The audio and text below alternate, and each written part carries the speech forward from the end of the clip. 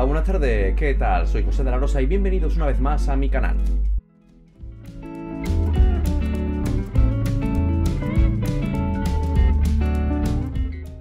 Hola, buenas tardes, ¿qué tal? ¿Cómo estáis? Bien.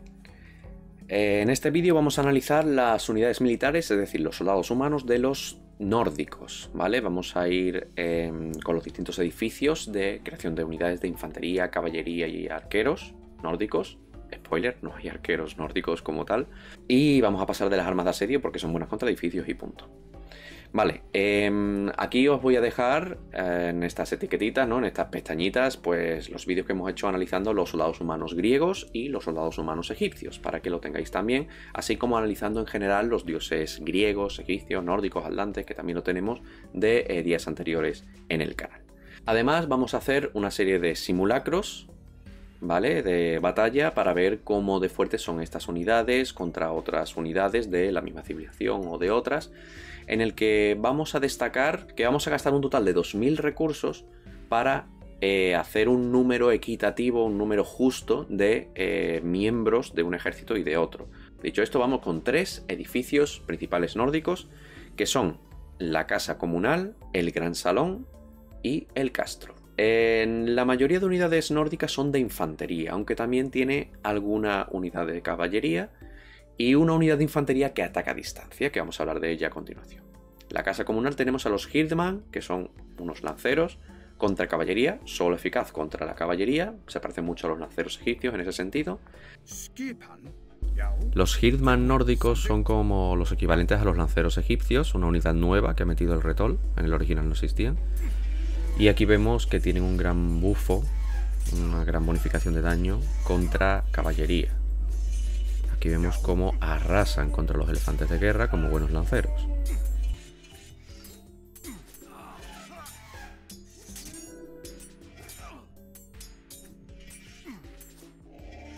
Tenemos los Berserker, que son las unidades de infantería básica, digamos, del ejército nórdico, de la civilización nórdica, que los puedes hacer incluso en el centro urbano o puedes transformar aldeanos o enanos en berserkers si tienes la necesidad, pagando pues ciertos recursos.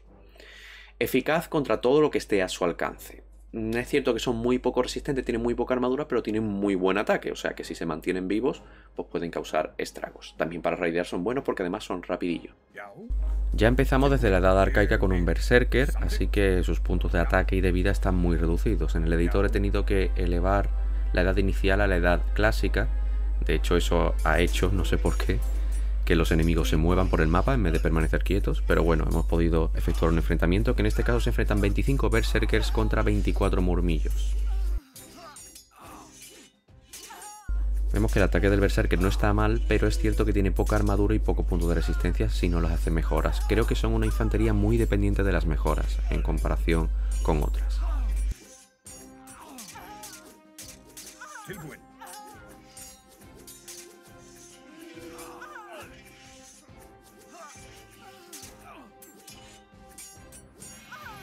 Y el lanzador de hachas, o hachero, como lo llaman aquí, que es un soldado a distancia contra infantería que solo es eficaz contra otras infanterías. Cuidado, es como si fuera el arquero nórdico como tal, pero tiene daño de cuerpo a cuerpo. No tiene un daño demasiado elevado, aunque bueno, si juntas mucho, un poco como el lanzador de onda egipcio, si juntas mucho puedes causar estragos.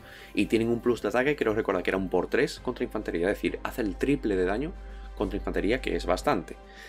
De todas maneras es aconsejable tener normalmente en tu ejército siempre estas unidades porque son los únicos que disparan, por lo menos por el momento. En este enfrentamiento van a luchar 22 lanzadores de hacha nórdicos contra 17 mirmidones. Y aquí vamos a ver ese poder destructivo de la bonificación de ataque contra unidades de infantería, a pesar de que los mirmidones son unas unidades bastante poderosas.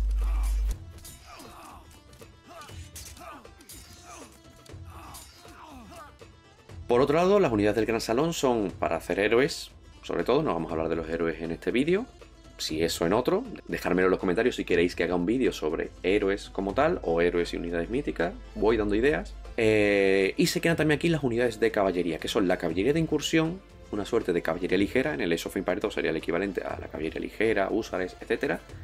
Solo eficaz contra soldados a distancia y armada serio porque es bastante débil, es muy rápida, eso sí, pero bastante débil, pero con plus de ataque contra em, unidades de ataque a distancia, contra arqueros. La caballería de incursión nórdica es rápida y, como hemos dicho, tiene un bonus de ataque contra arqueros. En este caso enfrentamos a 22 eh, jinetes incursores contra 22 toxotes griegos. Y a pesar de que mm, han tenido que redirigir la carga porque los toxotes estaban al lado y han empezado a atacar ellos primero, pues vemos que esa bonificación de daño se nota y muchísimo. Son perfectos para, evidentemente, como su nombre indica, hacer incursión.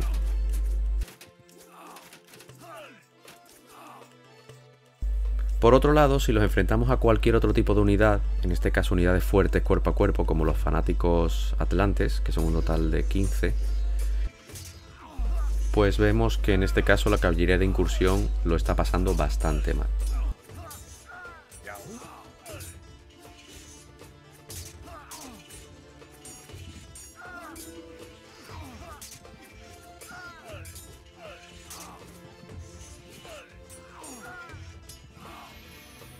Y por otro lado, la caballería pesada, el Jarl, que es eficaz contra soldados humanos, dice aquí en general.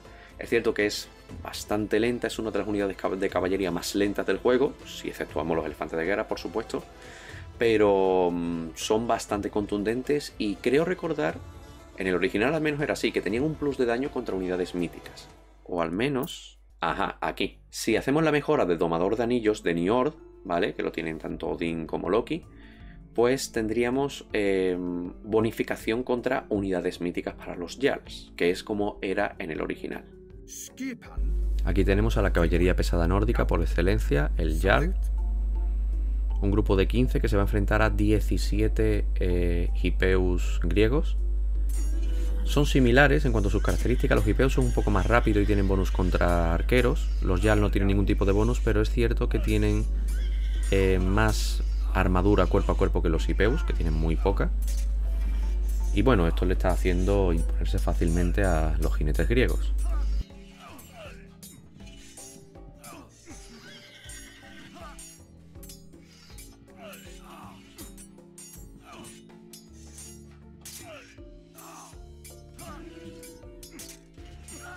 Y por último tenemos el castro. En el castro se crean dos tipos de unidades fundamentalmente, bueno, tres tipos, que son el asedio y una unidad de infantería bastante poderosa que son los Uscarles. Los Uscarles son eh, unidades de infantería bastante resistente y con muy buena armadura antiproyectileo. Os acordaréis de los Uscarles de los Godos, ¿no? De Age of Empires 2.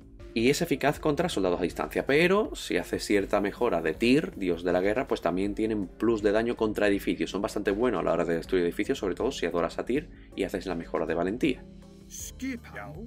Aquí vamos a probar 17 Uscarles contra 14 arqueros en carro egipcios, para ver esa potente armadura antiproyectiles que tienen estos guerreros nórdicos.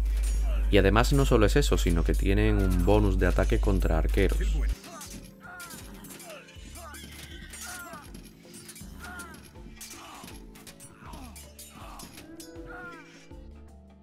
Y ahora vamos a enfrentar el mismo número de Uscarles contra 25 Hitmans. Ninguno tiene bonificación contra el otro, así que básicamente va a ser un combate de desgaste.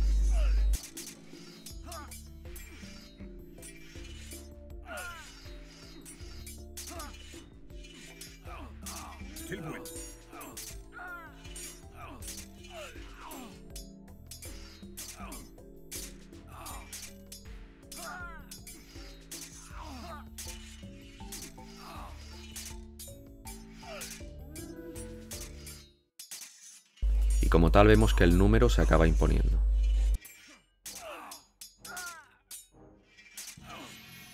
¿A quién elegimos si queremos la mejor infantería de los nórdicos? Pues yo elegiría a Thor, sin pensármelo mucho. ¿Por qué a Thor? Porque bueno, tenemos aquí a Forsetti, que mejora la resistencia de los Hillman y los Berserkers, además de la velocidad de la infantería en general. No es gran cosa, pero puede venir bien. Además, la infantería nórdica ya es rápida de por sí. En segundo lugar, aquí podríamos elegir entre Bragi o Skadi. Skadi mejora los lanzadores de hacha, los cuales son muy completos. A mí es una unidad nórdica que me gusta mucho, los lanzadores de hacha. Pero con Bragi mejoraríamos a los Berserkers y a los Hillman, a la infantería en general. Depende de lo que quieras hacer en ese sentido. A mí Por el tema de lanzador de hacha me gusta más Skadi. Y por, bueno, el hechizo de las armas incendiarias me gusta mucho más Bragi. Aunque la Scarja también está muy bien. Me quedaría con Skadi, ¿vale? Forsetti, Skadi. Y en mítica, Atir, dios de la guerra, porque mejoramos tanto a los berserkers, haciendo que haga más daño conforme pierden puntos de salud. Muy berserker eso. Y los Uscarles, que como hemos dicho, pues añade eh, bueno, aumenta el daño de los Uscarles en general y añade bonificación contra edificios, los cuales los convierten en arietes de infantería, por así decirlo. Y además, ¿por qué hemos elegido a Thor aparte de esto? Porque diréis, bueno, esa combinación que ha hecho también la podría tener Loki en un momento dado. Porque Thor tiene la armería enana y tiene tres mejoras más en la armería enana. De ataque, de defensa cuerpo a cuerpo y de defensa antiproyectiles y eso no lo tiene ningún otro dios nórdico, lo cual hace que Thor, la infantería de Thor, pues, en mi opinión, sea la más poderosa. Y si queremos la mejor caballería, pues yo elegiría a Odin, porque es el único que tiene tres dioses que mejoran exclusivamente a la caballería. Además, las unidades del Gran Salón, que son las de caballería y los héroes, generan más favor en batalla. Me acabo de dar cuenta de que en la actualización han puesto esto en inglés. Y que las unidades humanas recuperan, regeneran 0,5 eh, puntos de salud por segundo. O sea, se regeneran. Así que ya tenemos una caballería más potente. Sobre todo si adoramos a Freya, con los casos atronadores, que mejoran la velocidad y los puntos de resistencia de la caballería. Tenemos a Nior, si elegimos la mejora de Donador de Anillos, para aumentar los puntos de resistencia y el daño contra unidades míticas de los Jarls. Y Vikingos, que hace que la caballería de incursión gane oro eh, cuanto lucha contra unidades enemigas. No sé si tiene, mientras luchan por aquí, no sé si tienen que matarlas o es mientras va luchando como los Keshik de los Tártaros, ¿no? En Age of Empires 2. No estoy muy seguro, habría que probarlo. Pero aún así son dos mejoras destinadas a la caballería muy interesantes. Y por último, en Mítica elegiríamos a Baldur con hijos de Sleipnir, que aumenta el daño de la caballería de incursión, un 10%, y más de bonificación de ataque contra arqueros, contra soldados a distancia, que sería el bonus que ya tienen, pues aumentarlo aún más, lo cual lo convierte en los raideadores perfectos. Si queremos la mejor caballería, sin duda, de los nórdicos, elegiría Audi. Y vamos a hacer, como no hay arqueros, vamos a hacer una especie de valoración de cuál sería el mejor berserker, ¿vale? Para ello, pues tendríamos a Thor, ¿no? Con esas mejoras. En infantería también podríamos incluir Berserker, en este caso elegiremos a Bragi en vez. Pero también podríamos elegir a Frey. ¿Y por qué digo Frey? Porque en primera edad no tiene ninguna mejora, bueno, salvo esta, ¿sabes? Los sirvientes de la gloria, la de los patines, ¿no? Que hace que los Berserker, bueno, la infantería en general, se mueva más rápido, no está mal. Aquí elegiríamos a Bragi sin duda para esa llamada del Valhalla y por Vidar sobre todo, porque es que Vidar mejora a los, a los soldados humanos una barbaridad. O sea, Freya a lo mejor no es el mejor dios si tiene esta tecnología que hace que las unidades, todas las unidades tengan más puntos de resistencia, un 10% más, o sea, mm, el doble que la habilidad de Dionisio, ¿no? La Dionisia. Y claro, esto mm, pues se puede aplicar a la infantería, se puede aplicar a la caballería, a los héroes, a las unidades míticas, a todo lo que tú quieras. Pero con Vidar tenemos estas mejoras, que son una barbaridad. Los soldados humanos más puntos de resistencia y los soldados humanos más fuertes contra héroes, incluyendo a los berserkers. Aquí tenemos que los Berserkers, eh, bonificación de daño por inactividad. Su daño va aumentando a medida que están quietos y cuando se mueven, pues empiezan a perderlo, evidentemente, pero mm, para emboscar pueden ser muy buenos o para defender. Y Furia de los Caídos. Los Berserkers cercanos obtienen más 15% de daño por un tiempo breve, cuando cae una unidad militar cerca de ellos. O sea, si queremos mejorar a tope a los Berserkers, yo elegiría a Ul para esta, esta mejora de velocidad, elegiría a Bragi para hacer la llamada del Valhalla, y elegiría Vidar porque Vidar hace un montón de mejoras para infantería, soldados humanos y especialmente estos berserkers que hemos visto aquí. Y con esto, bueno, creo que hemos terminado con las unidades militares, con los soldados humanos de los nórdicos. Si queréis más vídeos como este, no olvidéis suscribiros, darle a like, activar la campanita para futuros vídeos y short, todas esas cosas. Y dejadme en comentarios cuál es vuestro soldado humano nórdico favorito. ¿De qué os soléis hacer los ejércitos nórdicos cuando lucháis eh, de la mano de Thor, Odin, Loki o el nuevo Frey. Dicho esto, nos vemos. Espero que te haya gustado el vídeo. Si es así, no olvides suscribirte, darle a like y activar la campanita para futuros vídeos y shorts. Nos vemos pronto. Adiós.